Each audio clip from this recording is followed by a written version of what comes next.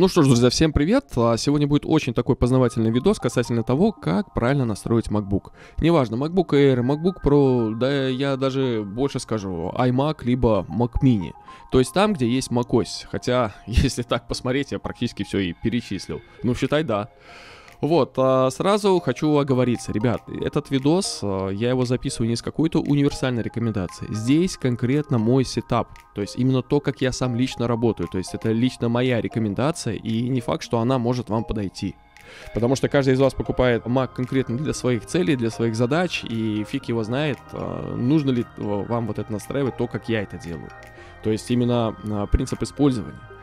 Вот, а, но тоже могу сказать то, что даже если мой сетап вам не подходит, все равно здесь будут а, общие рекомендации, которые все же ускорят работу вашего MacBook. Видео также актуально по той причине, то что, ну, ко мне часто подходят и просят, чтобы я помог настроить их э, ноутбуки, потому что они только перешли из Windows и им неудобно. То есть они немножко не понимают логику системы, вот, и, соответственно, да, из коробки, когда вы только вытаскиваете ваш Mac, все работает замечательно, можно классно работать. Но есть такие маленькие просто нюансы, которые, если просто немножко подправить, а точнее, ну, кое-где галочки какие там, ну, нажать, вот, а, работа становится а, быстрее, работа становится быстрее, и работать становится комфортнее.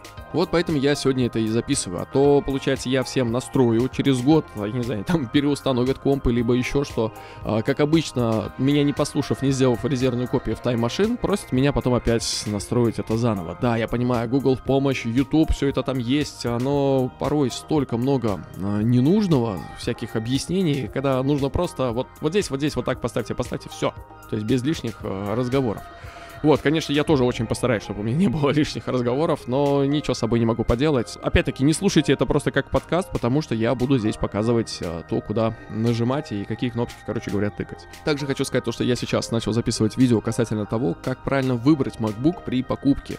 Тема просто сейчас э, набирает обороты, она очень актуальна, и виновником всему этому это как раз-таки вышедший вот эти вот, э, вышедший процессор на M1. Ох, э, навел он шумихи, в общем, на рынке ноутбуков. Он действительно, зараза, мощный. Он очень, блин, ну, впечатляющий процессор. А плюс сейчас э, выйдет еще один новый скоро. Я не знаю, когда. Вот, слухи-то всякие идут. Э, не знаю, это будет M1X или M2. В общем, пока ничего сказать не могу. Это Apple. Вот, и получается то, что все владельцы макбуков, старых макбуков, решили срочно продавать свои старые макбуки для того, чтобы купить, в общем, вот это вот на новых процессорах. Вот, и выходит так, то, что у нас сейчас рынок БУ начинает переполняться предложением касательно старых э, макбуков. Э, люди идут, покупают, потому что и цена сейчас, она очень сильно упала. Но проблема в том, то, что многие, кто покупает, они не знают те вещи, которые нужно избегать. Да и плюс а, часто тоже подходит и спрашивает, а какой MacBook купить, на что обращать внимание и так далее. А вот эта вот консультация моя, она выходит минимум 40 минут, потому что это, ну, получается у нас диалог. И вот вы представьте, минимум один раз а, в день, либо два раза в день я начинаю одно и то же рассказывать, и я прям чувствую, что я попал в день сурка. И вот чтобы убрать вот этот э, день сурка, я решил записать э, видос касательно того, как правильно настроить MacBook и, соответственно, как правильно его купить. Думаю, в общем, будет полезно. Ну и давайте уже сразу перейдем к делу. Значит, какой у меня у самого MacBook? Вот мы смотрим. Значит, э, у меня MacBook Pro 16 э, дюймов 2019 года, 2,3 ГГц 8-ядерный Core i9, 16 гигабайт АЗУ, 5500M, 4 гига видяха. Вот, и получается хранилище у меня здесь на пожалуйста, 910 э, свободно. То есть, ну, в общем, у меня терабайт э, хранилища. Значит, Обратите внимание первое. Вот у меня сейчас стоит э, система macOS Big Sur 11.2.2. Э, я знаю достаточное количество людей, у кого до сих пор система Каталина. И вот если у вас, значит, Каталина, первая уже получается моя рекомендация, вот скачайте вот эту программу. GFX Card Status. Эта программа э, позволяет вам принудительно переключать э, вашу видеокарту. Вот я сейчас ее специально переключил для того, чтобы она показалась вот, вот здесь вот. Вы сейчас спросите, а зачем это нужно? А в Каталине, значит, есть такой баг в тот момент, когда вы запускаете Photoshop, а выходит так, то, что сам драйвер, он не успевает переключиться с интегрированной карточки на дискретную. И получается, ваш Photoshop начинает работать только в интегрированной карте. И это очень сильно отражается как раз-таки в быстродействии. Вот сейчас подсказочки выйдет вот здесь вот, как его, ну, в подсказочке, да, ну, в подсказочке выйдет будет, в общем, подсказочка. Вот, переходите по ссылочке, смотрите, я э, рассказываю, как устранить эту проблему, чтобы у вас Photoshop работал э, очень быстро. В Big Sur этой проблемы уже нету, и я вот даже сейчас просто отрублю э, саму вот эту прогу, потому что она мне не нужна. В, слава тебе, Господи, они все это дело настроили, и все хорошо запускается. Следующее уже сразу же на подходе рекомендация. Обратите внимание, вот у меня рабочий стол, он абсолютно пустой. Я всем рекомендую держать ваш рабочий стол максимально пустым. Почему э, это важно? Во-первых, когда у вас здесь срач на рабочем столе, миллион файлов, там текстовые документы, видео какое-нибудь, я не знаю, там песни. Поймите одно, что вот эта сама система пытается прогрузить чтобы вы могли в любой момент открыть, то есть а, чтобы а, вы ничего не ждали, чтобы это плавно, чтобы это красиво все это было. И получается, что это ест а, саму, ну, сами ресурсы. И поэтому, чтобы не было вот этого срача, вы создайте просто папку, назовите ее как-нибудь и киньте все туда.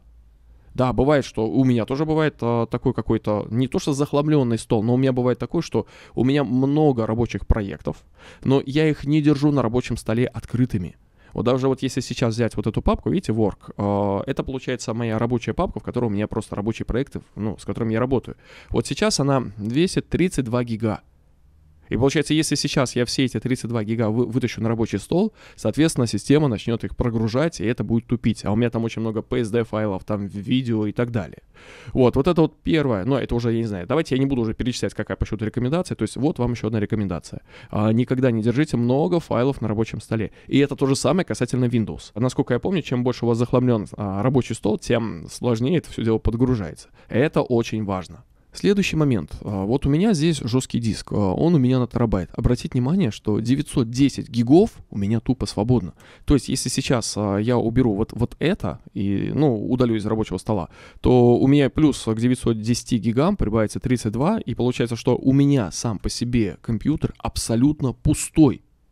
Да, я, поймите, для меня Mac это рабочая машинка, я здесь не играю игры, я не смотрю на нем, нет, я кино на нем смотрю, но я не делаю из своего компа склад просто не делаю. Во-первых, это тоже отображается на быстродействие. Опять-таки, а, я не знаю, как сейчас, может быть, я еще подвержен какому-то старому, не знаю, не то что мифу, хотя это можно проверить, но я не, не делаю это. А касательно того, то, что если вы сильно перегружаете ваш Mac, точнее, ваш жесткий диск, после какого-то определенного, там, больше 80 или 70 процентов, а скоро, как это, скорострельность, хотел сказать, а быстродействие, она просто уменьшается. И, соответственно, я просто не нагружаю систему. Ну и плюс а, у меня уже сама по себе а, выработалась привычка касательно того, то, что все свои рабочие файлы я всегда держу на жестких дисках, на других жестких дисках. То есть вот эта вот папка Work, она у меня скопирована два раза, и она у меня на жестких дисках. А, эта привычка выработалась с того момента, когда я один раз уже потерял все свои файлы. А, это еще было на Windows. А, у меня были файлы на рабочем столе. Windows глюкнул, и все. Я не смог это даже восстановить. И для меня это был очень сильный урон. После этого я всегда все копирую на... Ну, у меня всегда есть резервные копии. То есть сейчас у меня получается 5 или 6 по-моему, нет, 6, да, 5, а, один у меня на резервную копию самой системы, то есть получается 5 а, жестких дисков по 2 терабайта плюс один 8 терабайтный хаб для того, чтобы у меня были резервные копии всех моих рабочих файлов. То есть я не храню здесь фоточки, я ничего здесь не храню. То есть да, Mac-система, она надежная, все это классно, хоть и баги у нее тоже есть. То есть это не прям э, супер надежность, но все же я не доверяю никакой технике, и поэтому я держу в пяти э, резервных копиях, плюс, ну, считай 5-6, вот, э, резервных копиях, чтобы, если что-то, хоть один из них сгорит, жесткий диск, у меня всегда есть э, резерв. Поэтому моя рекомендация, никогда не держите ваши важные файлы на компьютере. Не дай бог сгорит, потом не сможете восстановить. Что хорошо в 16-дюймовых маках, то что э, терабайт это самое минимальное, то есть это минимальный вход э, в i9. 512 э, жестких дисков нету на i9. Вот, и это очень, в общем, здорово. Еще одна из причин, почему я не нагружаю свой жесткий диск, это деградация. А, скорее всего, я неправильно назвал вот эту вот штуку, но вкратце сейчас объясню. Короче, чем больше вы на него записываете и плюс удаляете, тем быстрее а, ваш жесткий диск начинает а, не то что состариваться, то есть он начинает помирать. Конечно, да, сейчас скажете, вау, что это, что за инфа такая? А, вы не пугайтесь, вы не бойтесь, а, потому что а, элементарно, чтобы к этому привести, Но это надо очень много записывать, это нужно очень много стирать. И вот за полтора года, то, что я пользуюсь своим MacBook, э, я, получается, уже проработал здесь 17 терабайт. А, есть специальная программка, вы можете посмотреть. И у меня здоровье жесткого диска на 100%. То есть сколько мне нужно еще проработать? Это за полтора года 100%. То есть э, если в таком режиме, как я работаю, я не знаю, может лет 20, наверное, а, я буду а, вот так вот его использовать. Но понятное дело, что MacBook у меня не будет 20 лет. Вот, но все же есть этот момент, и, соответственно, не делайте из своего компа какой-то, я не знаю, хранилище, сервер и так далее. А для этого лучше используйте э, внешний SSD-жесткий диск, к примеру, Samsung T5. Это очень классное решение, и оно очень скоростное. Плюс новые модели, они очень тоже скоростные по сравнению с первой версией. Вот, и те, кто, опять-таки, не впервые слышит про эту проблему, вы посмотрите в YouTube, там есть конкретные объяснения. Вот, а, понятное дело, что с новой технологией можно про это, по сути-то, и не переживать. Но все же есть эта проблема, и, соответственно, учитывая то, что в MacBook это все впаяно, э, да и с другой стороны, я не уверен, что через 20 лет кто-то будет пользоваться вот этим вот Macом, который сейчас у меня. Вот, по сути, а, где-то для меня это сейчас и выдуманная проблема, вот, ну, это и не проблема, просто еще раз говорю, я и не храню здесь ничего, поэтому я думаю, я объяснил. Но почему я сейчас затронул а, именно износ жестких дисков? Вот, между прочим, я про это буду говорить и в ролике про а, выбор MacBook MacBook'ов, а, вот э, в M1 MacBook'ах как раз-таки вот эта проблема сейчас, она просто остро встала. Пользователи посмотрели, сколько у них, э, какой у них пошел износ, и многие увидели, что у кого-то за год 10%. То есть 10% уже износа. И многие начинают смотреть, у кого-то там 10, у кого-то 5, у кого-то 1. Вот, и представьте, 10% за год. Я всего лишь-то поработал полтора года, у меня 100% э, здоровья, а там уже израсходовалось 10. Короче говоря, сейчас э, не хочу про это говорить.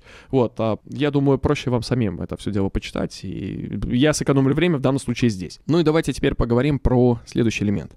А, это вот, вот замечательнейший вот этот вот док. Обратите внимание, у меня сейчас на рабочем столе его нету, и он появляется только тогда, когда я опускаю мышку вниз. Это очень удобно, это очень практично. Давайте я сейчас вам элементарно покажу все плюсы и минусы вот этого, почему он у меня прячется. Во-первых, кстати, а, вот я сейчас запущу Photoshop, обратите внимание, как он стал медленно запускаться. А, я не знаю почему, именно на Big Sur вот, вот это стало проблема. Он работает так же быстро, никаких проблем нет, но он запускается долго. То есть в Каталине он запускался, вот три раза вот прыгнуло и запустилось. Я, я не засекал по времени, но я прямо сейчас ощущаю, насколько долго запуска, запускается именно в Big Sur. Буду ли я сносить Big Sur только из-за того, что сейчас в данный момент у меня э, плохо запускается Photoshop? То есть не плохо, а долго. Нет, я это делать не буду, но я думаю, что вот эту проблему должны пофиксить э, в обновлениях. И вот а, к чему я сейчас а, все это рассказываю. А, многие, у кого вот так торчит док, вы когда запускаете Photoshop, у вас вот такая мертвая зона всегда. И вы работаете вот с этой мертвой зоной. То есть нет, чтобы сделать экран пошире, тем более у вас замечательнейший экран, ретина, а, вы работаете вот с такой мертвой зоной. Да, конечно, когда вы работаете в проекте, можно нажать клавишу F, вы выходите весь экран, ну, а если не хотите нажимать клавишу F, а если не нужно нажимать клавишу F, то есть вот эта штука, она все время торчит. Что бы вы ни запустили, любое приложение, у вас получается то, что вот эта штука, она мешает. И вот чтобы вот этого не было, я рекомендую вот э, правой кнопкой, э, ну как правой, двумя э, пальцами на этом, как его, тачпаде нажимаем. Вот, и что мы делаем? Вот здесь, э, значит, нажимаете на галочку автоматически показывать или скрывать док. Это как раз-таки активирует э, эту функцию, чтобы он э, всплывал там, когда вам нужно. Э, сами ставите слева-справа, но я, опять-таки, работаю только снизу. Очень важно. Э, вот здесь вот поставьте простое уменьшение вместо джина, потому что здесь, получается, задействуется э, анимация, и это тоже жрет ресурс системы. Я ставлю на простое уменьшение. А, также вот здесь вы можете, получается, отрегулировать а, его размер, какой он должен быть. И плюс, а, что удобно, вот мне это лично нравится. То есть не вот так вот вы запускаете программу, вот кирпичом все это стоит, а вот я ставлю так вот увеличение, и получается, когда я вот так вот вожу, четко понятно, какая сейчас у меня запустится программа. Я считаю это очень удобно, и я рекомендую, чтобы вот так вот было. Но опять-таки, это на вкус и цвет. Вот, и в итоге, сейчас я вот так вот это спрячу, видите? Все, норм. Вот, он очень отзывчивый, очень классно, ничего не подлагивает, все здорово. И теперь я могу, включая все мои остальные приложения, вот так вот открыть, на весь экран и работать. То есть, что Google Chrome, да, да все о, будет работать, и это удобнее. Вот вам, в общем, такая рекомендация. Идем дальше и давайте настраивать. Значит, чтобы настроить, нажимаем вот здесь на яблочко и вот здесь вот выбираем системные настройки. Вот перед вами все, что мы сейчас с вами настроим. Во-первых, э, заходим в основные, ну, сами под свой вкус, э, в общем, настройте. У меня здесь стоит э, тема темная, и элементарно я здесь вот убрал недавние объекты, чтобы вообще у меня ничего не показывалось и ничего нигде не хранилось. То есть у меня стоит здесь все на нуле. Следующее, получается, это рабочий стол и заставка. Ну, здесь и так все очень просто. Я, допустим, не использую никакие заставки. Вот, если у меня монитор выключается, пусть лучше будет выключен, чем что-то будет на нем показываться. Если вы любите всякие, я не знаю, там анимации, всякие картинки, ну, я не знаю, ставьте, если это вам нужно, пусть это будет. А, у меня этого ничего здесь нет.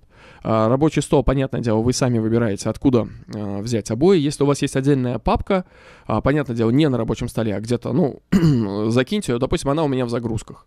Добавьте эту папку, закиньте туда фотографии, которые вы хотите использовать на весь экран, ну и, соответственно, ими пользуйтесь. Следующее идет строка в меню док, но это вот то же самое, что мы сейчас с вами настроили.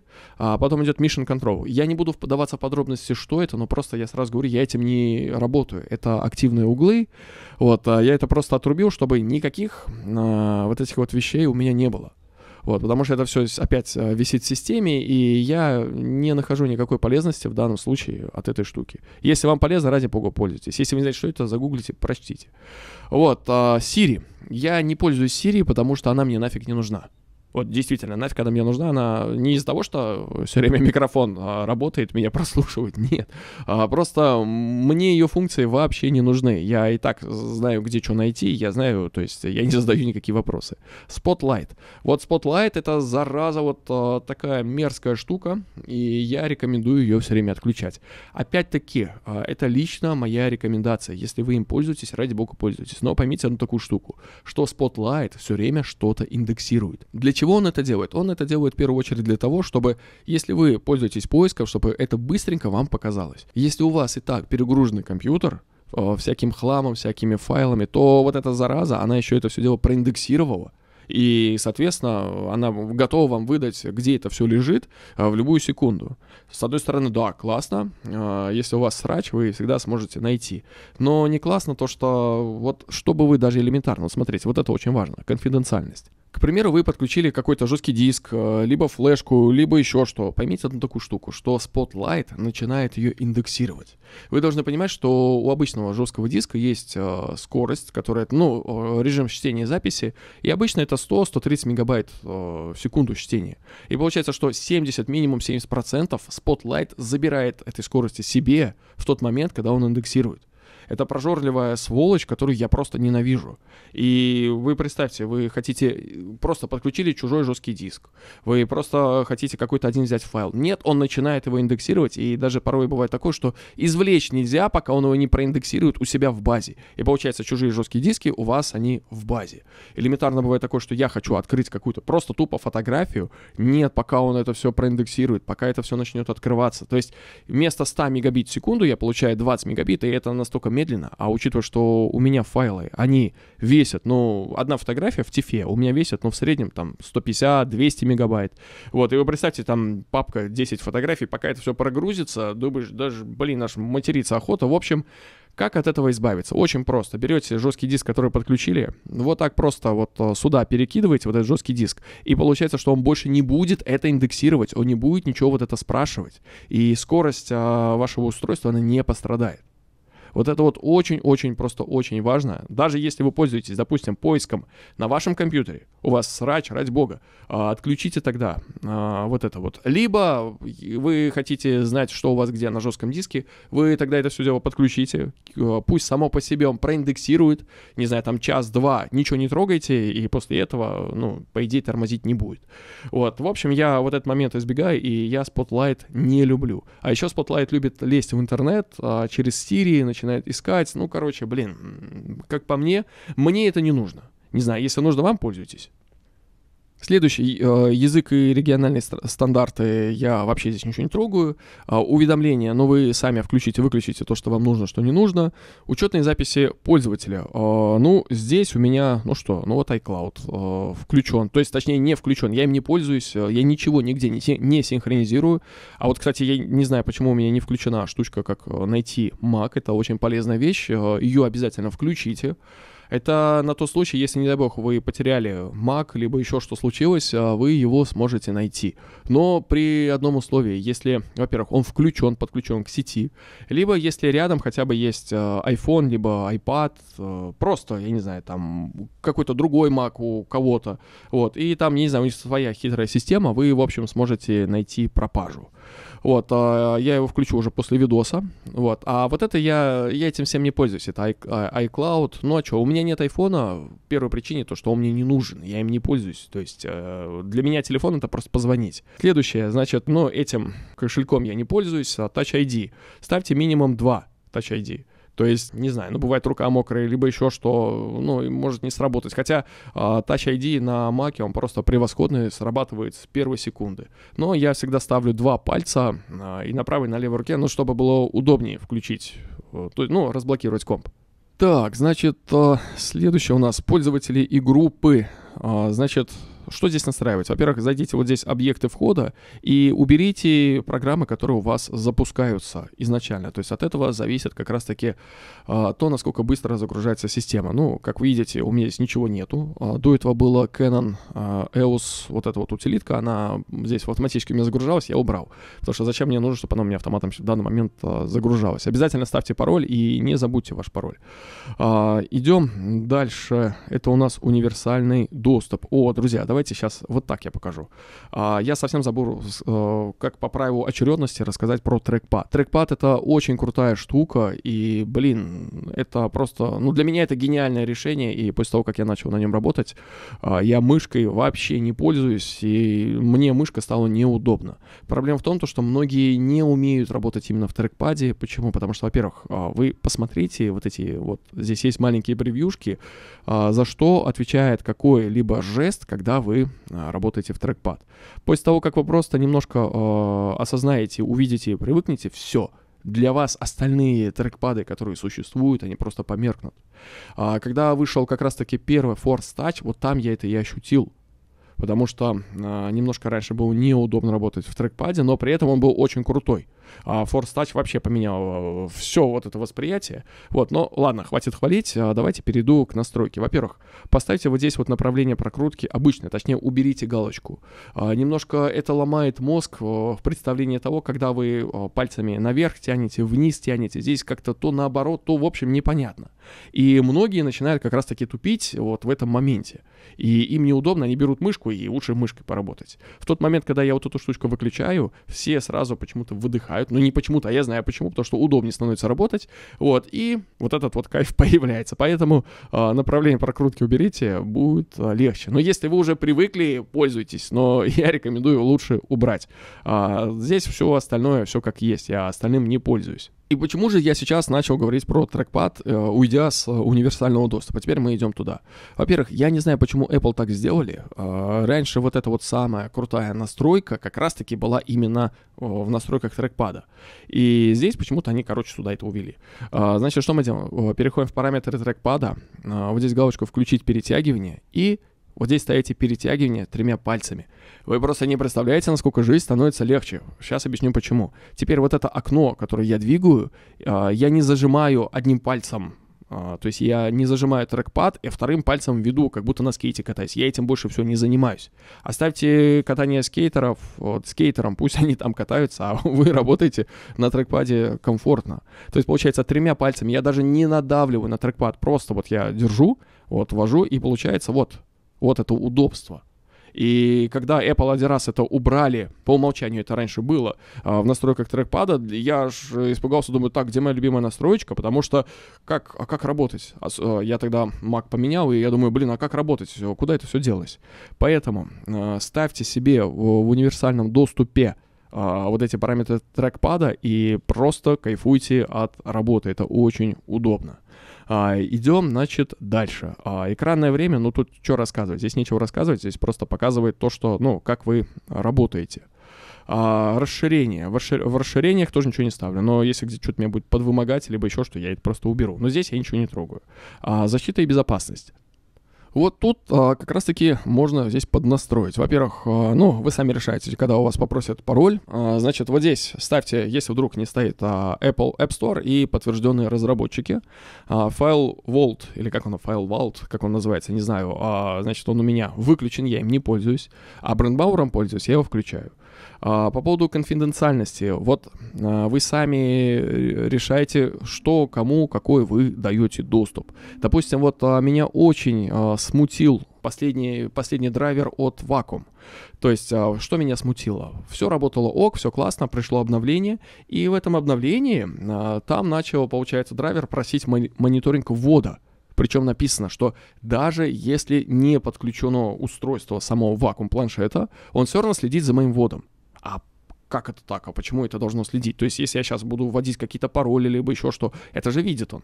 И, соответственно, я откатил драйвер, и, соответственно, сказал, не-не-не, спасибо. Но можно было сказать, ну, не давай доступ. Но когда я отключал этот доступ, мне каждые 5 секунд выходило сообщение, то, что нету доступа, нету доступа, драйвер не может работать.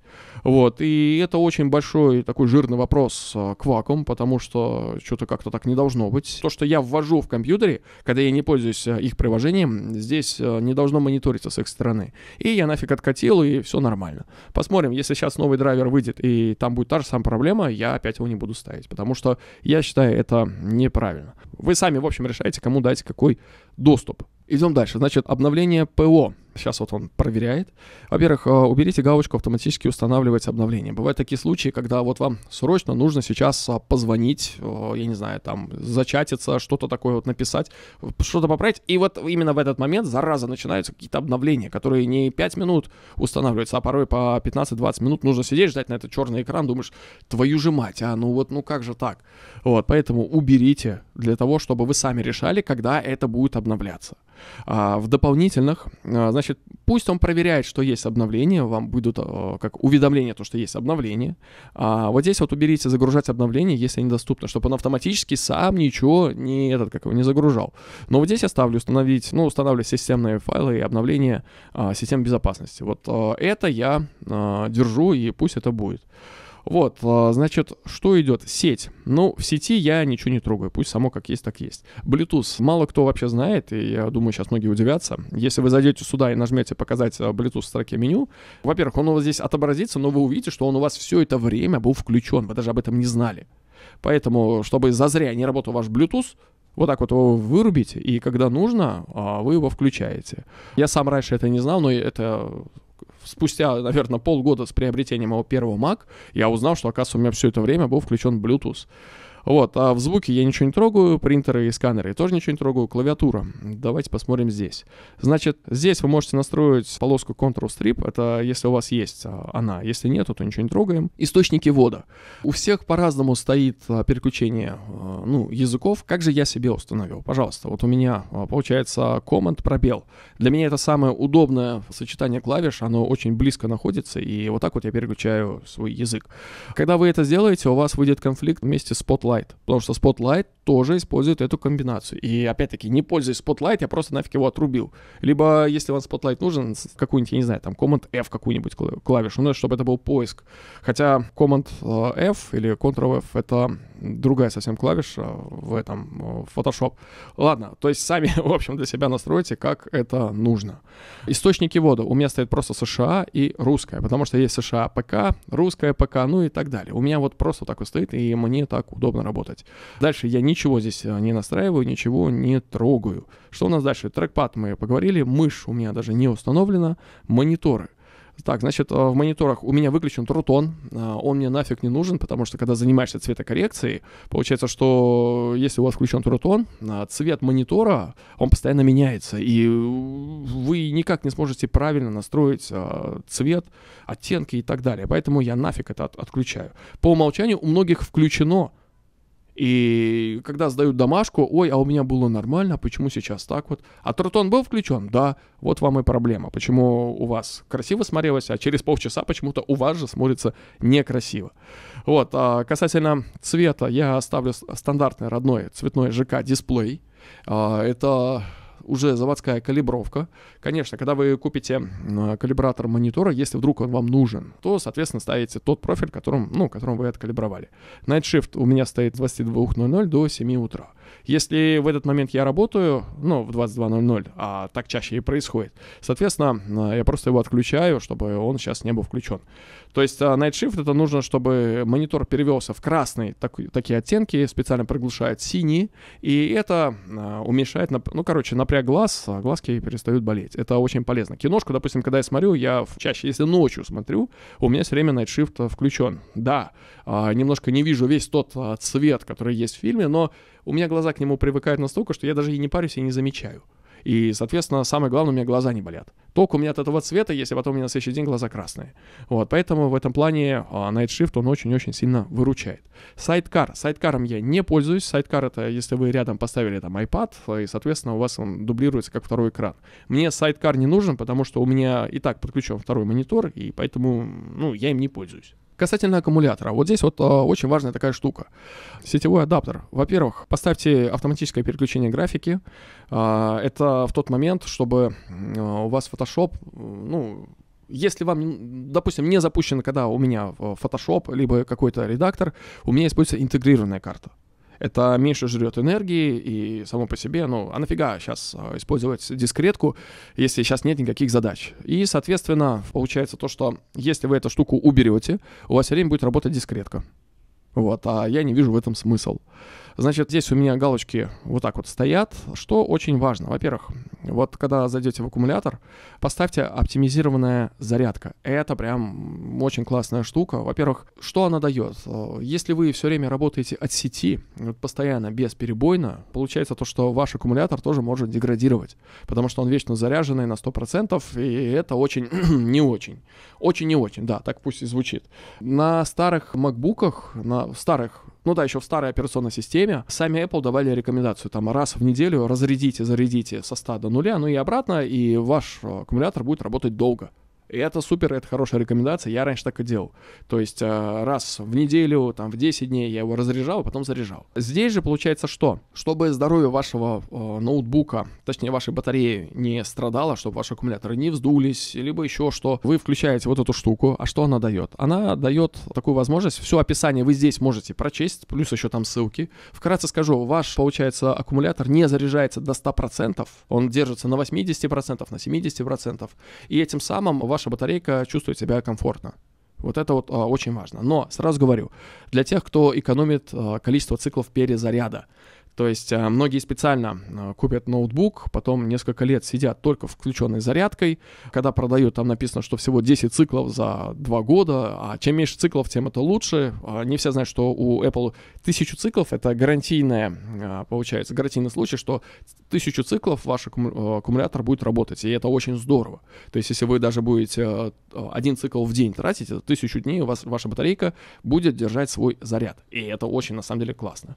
Вот, но многие экономят, чтобы цена была подороже. Соответственно, я тоже был в том числе. Вот. Но у этого тоже, еще раз говорю, есть своя побочка. Если вы долго очень сильно держите его заряженным, то батарейки могут сдуться. Случаев всяких там много. Вот. И вот эта, короче говоря, фича, она не дает перезарядиться вашему аккумулятору. И, соответственно, его на дольше хватит. Вот, допустим, я специально сейчас установил вот эту прогу. Обратите внимание, он сейчас показывает здоровье моего жесткого, э, жесткого диска, моего, моего аккумулятора 85%. Я не паникую, что у меня за полтора года 15% у аккумулятора сдохло. Я даже не паникую, потому что когда я отключу вот эту функцию, уровень заряда восстановится. Понятное дело, я не знаю, насколько восстановится, но ближе к этому оно вернется. То есть, если у меня оригинальная емкость это 8790, то сейчас э, в этом ограниченном режиме это 7448. То есть это вот так вот. И поэтому не пугайтесь, если у вас включена эта функция, а показывает, что здоровье-то пострадало. Нет, на самом деле это не так. Вот, а программа хорошая, а, ссылочку тоже а, скину, можете тоже скачать, она бесплатная. То есть а, ей пользоваться, в общем, классно. А знаете, что я заметил после последнего обновления в Big Sur? Здесь исчезла такая штука, как по возможности переводить диски в режим сна. Исчезла эта вещь при, не знаю, то есть при аккумуляторе, при, значит, при самой, то есть сетевом питании. Я больше всего подозреваю, когда в режим сна вот эта штука переводилась, а, использовался, ну, использовалось много файлов подкачки. И получается, скорее всего, это тоже а, один из факторов, почему на M1 помимо того, что там очень агрессивно используется файл подкачки, почему они сейчас это убрали? Чтобы еще больше не усугублять вот эту проблему. И поэтому с этим обновлением просто эта штука исчезла. Опять-таки, это мои личные догадки. Не знаю, может, это только у меня вот эта штука пропала. Вот, я-то ею не пользуюсь, но я вижу, что этой штуки нет после обновления. Вот именно вот а, последняя версия, вот это вот 11.2.2 или какая-то у меня. Вот, а, идем дальше. Значит, дата и время. Все то же самое, здесь а, нечего менять. Общий доступ. Ну, общий доступ я никому не даю. Тайм-машин. Очень крутая штука, и мало вообще кто пользуется вот этой вот вещью. И я многих спрашиваю, почему вы этим не пользуетесь? Это же настолько круто. Обратите внимание, вот у меня сейчас видно, что я делал последний резерв. Здесь написано, что Clean, Big Sur плюс Soft. А что это говорит? Я специально установил максимально свежую операционную систему. Это было вот 14 февраля, получается, я переустановил. Вот, и получается, я туда все сразу установил. Весь софт, вот все, что, чем я работаю, со всеми настройками, я это установил, и я это забэкапил. То есть, неважно, что может с моей системой произойти, вот что угодно. Да даже если мне папки лень будет чистить, вот я не знаю, я просто возьму, восстановлюсь с бэкапа, и у меня будет абсолютно чистая новая система, как вот, вот все, чисто, вот просто чисто.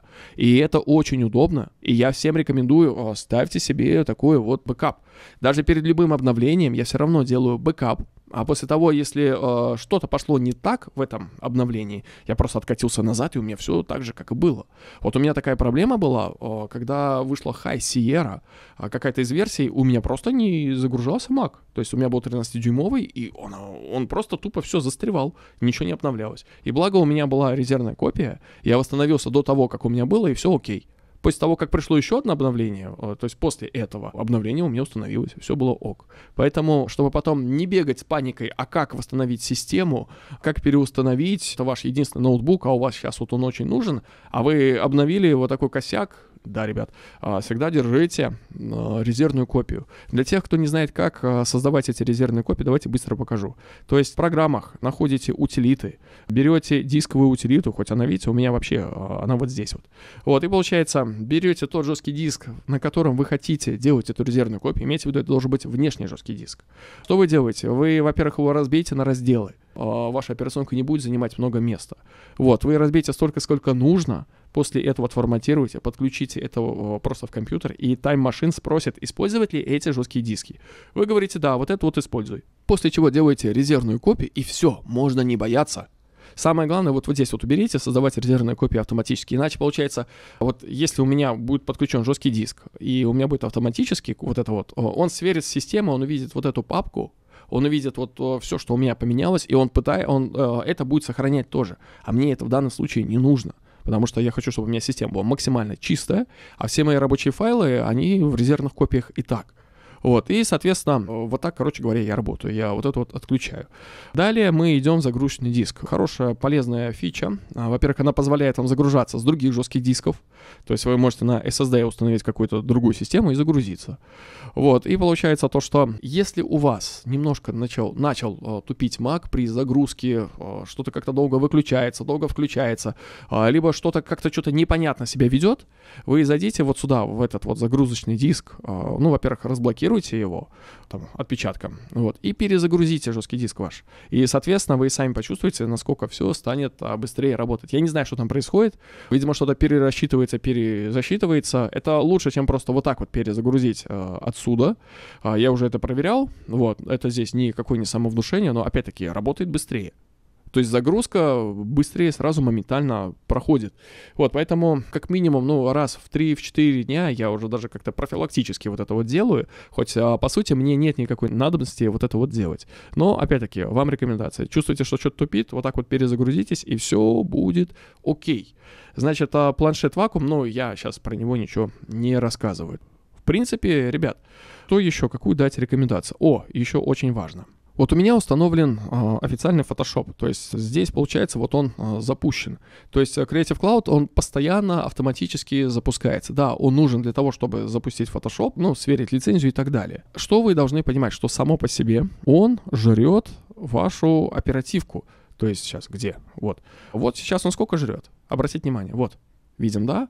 И согласитесь, это стрёмно, если у вас и так тяжелый проект, а тут, если все посчитать, почти в минимум в гиг выходит вот это вот пожирание. Поэтому, чтобы у ваше быстродействие, оно, э, как это, не страдало, вы либо отключите автозапуск, но чаще потом у вас Photoshop будет спрашивать лицензию постоянно. Вот. Вы, пусть будет автозапуск, но вы, если работаете с тяжелым программой, в общем, выйдете из этой программы, то есть из самого Creative Cloud, и все. Ваша, получается, оперативка, она уже освобождается. А если хотите, чтобы даже нигде она не торчала там э, зарезервированной или там типа как файл подкачки, хотя файл подкачки даже сейчас у меня не активирован. Вот, а если вы не хотите, чтобы он вообще где-то висел, изначально отключите автозагрузку и все будет ок. Еще одна вам хорошая рекомендация. Во-первых, часто вижу то, что э, у многих просто тупо рабочий стол и никогда нету жесткого диска. И порой им даже сложно как-то открыть э, Finder. Они не знают, как поковыряться по компьютеру. Во-первых, если вы хотите вызвать Finder на рабочем столе, нажмите Command-N. У вас выйдет само по себе новое окно. Во-вторых, зайдите в сам в это, вот, ну вот, вот здесь вот Finder и зайдите в настройки. Вот здесь в основных вы можете как раз-таки включить, чтобы у вас от, отображался жесткий диск, внешние диски, CD, DVD, ну и так далее. Вот это вот очень-очень э, помогает, потому что бывает такое, что подключили жесткий диск внешне, а его нет и думают, по-моему, что-то жесткий диск не работает. И вот так вот туда-сюда, туда-сюда тыкают. Вот. А, вот это вот очень хорошая рекомендация, поэтому она полезна вам. Но здесь вы сами решаете. Боковое меню, соответственно, это то, что вы видите здесь. Вы сами можете решить, что будет показывать, а что нет. Поэтому под себя тоже, в общем, настраиваем. Ну и, соответственно, здесь все то же самое. В общем, это удобная настройка, удобная фича. Друзья, еще очень важная настройка, точнее важный совет там тем, у кого очень мало АЗУ. То есть а, пользователям, у кого 8 гигов, у кого 4 гига, да, даже до сейчас, а, сейчас есть а, люди, кто пользуется 4 гигами АЗУ. 16, да, это сейчас минимальная, самая минимальная планка, с которой уже мы работаем. Вот, и опять-таки, вот на M1, даже если вы покупаете, берите 16 гигов, потому что, опять-таки, износ вот этот вот их SSD-шника, я еще раз говорю, я подозреваю то, что очень много используется файла подкачки, потому что всего 8 гиго, гигов там на все. И это я считаю мало, но опять-таки я не инженер Apple, им самим виднее. А, в любом случае скорость там гораздо быстрее, чем вообще в, в других компьютерах. Вот, а я сейчас не за все компы говорю. И получается то, что как раз-таки 16 а, гигов это самый, самый минимум. А вот на вопрос, почему я взял 16, а не 32? На тот момент не было 32 гига, ну, 32 гигов, 32 гига АЗУ просто тупо не было. Вот, что бы я сейчас себе бы взял, если бы я бы, допустим, менял бы? Я бы оставил бы все как есть, но, я имею в виду Pro 16 MacBook 2019 года, но я бы взял бы, чтобы у меня видеокарта была не этот, как его, просто 5500M, а с HBMI, вот, а, вот эта видеокарта, она мощная. И, понятное дело, 32 гига АЗУ. Я бы ее купил бы, но, к сожалению, здесь таких ноутбуков у меня нету. Вот, и я готов переплатить, но это прям на быстродействие очень хорошо а, сказывается. И так вот, ушел я от совета, значит, а, моя рекомендация. Вы поймите одно. Вот каждая вот эта программа, когда вы работаете, а, она жрет очень много оперативки. То есть даже элементарно вы запустили Google Chrome, откройте пару вкладок, посмотрите, сколько у вас сожрало вашей оперативки, вы увидите, что пару вкладочек это уже гиг съедает. А что я часто наблюдаю, что вот запустили Google Chrome, там, блин, 500 вкладок, и плюс работает а, Photoshop, а это начинает тупить. Почему тупить? Потому что в этот момент ваша система, ей уже не хватает ей физической вот этой вот оперативной памяти, она начинает создавать именно этот как бы файл подкачки. Файл подкачки создается на вашем жестком диске. И получается, что само по себе файл подкачки, он медленней, чем оперативка. И оттуда вот страдает ваше быстродействие. Поэтому моя рекомендация, не запускайте ненужное в тот момент, когда вы работаете с ресурсоемкими программами. Конечно, для кого-то я сейчас капитан очевидность, но все равно я часто это вижу. Вот, и получается, какой смысл запустить одновременно Photoshop и Lightroom? При этом вы Lightroom уже не пользуетесь, он просто у вас там висит, нафига он там нужен? Уберите его, освободите место, компьютеру дышать будет легче. Равносильно как а, также бывает, что запустят 3 или 4 больших проекта Photoshop, Э, с огромным количеством слоев и работаю только в одном проекте, забыв, что есть остальные. Нафига? Тоже отрубайте, и ваш комп будет работать. Еще лучшая вообще рекомендация. Я, когда вот у меня был комп с 8 гигами АЗУ, что я делал? Я перезагружал абсолютно у меня ничего не было в автозапуске, то есть абсолютно никаких кэшев, ничего у меня там не было, потому что в любом случае файл э, в кэше сидит, вот вы запустили что-то, а вы из этого вышли, но все равно программа часть вот этого а, приложения, она оставляет у себя в памяти на тот случай, если вы хотите запустить, чтобы это быстро все было. А я максимально от этого избавляюсь. Я перезагружаю комп, запускаю чисто программу, в ту, которой я работаю, и работаю абсолютно спокойно. То есть я не страдаю от того, что э, мне не хватало прям места. Конечно, места, я имею в виду сейчас про Азу, конечно, Азу не хватало. Но не так критически, как, а, допустим, если у меня все запущено одновременно. Да, маки хороши тем, то, что много чего запущено, все классно работает. Но я сейчас говорю конкретно про улучшение быстродействия. Вот, вот это вот важно. Друзья, также забыл сказать про настройку в универсальном доступе, вот где монитор. Вы здесь, если нажмете уменьшить прозрачность, это тоже освободит э, ресурсы системы, и ком будет работать быстрее. Поэтому вот эту галочку тоже включайте, если вы ограничены ну, в ресурсах системы. Ну, вроде бы все показал, думаю, я ничего не забыл. А если так получилось, что я что-то забыл, я обязательно это потом дополню в комментариях под описанием к ролику. Вот, а, ребят, если у вас есть чем поделиться, пишите тоже, мы все это дело посмотрим. А, я уверен, это всем будет полезно. Также хочу сказать, друзья, как бы я ни пытался записать этот ролик очень коротко, на 2-3 минуточки, к сожалению, у меня не получается. Поэтому уж сорян, я сейчас не знаю, насколько вышел этот э, видос. Я очень-очень старался коротко и без э, лишней болтовни. При этом сейчас как раз таки происходит болтовня. Значит, со всеми прощаюсь. До встречи в новых э, роликах. Лайк, подписка, колокольчик. Всем пока-пока.